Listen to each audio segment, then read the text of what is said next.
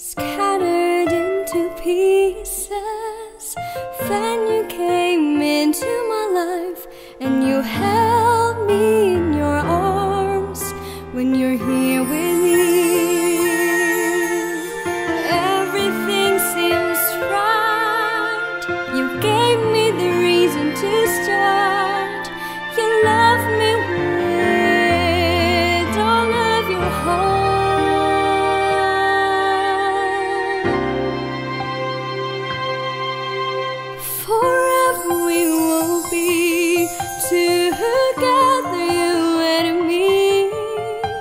From now until forever, our love.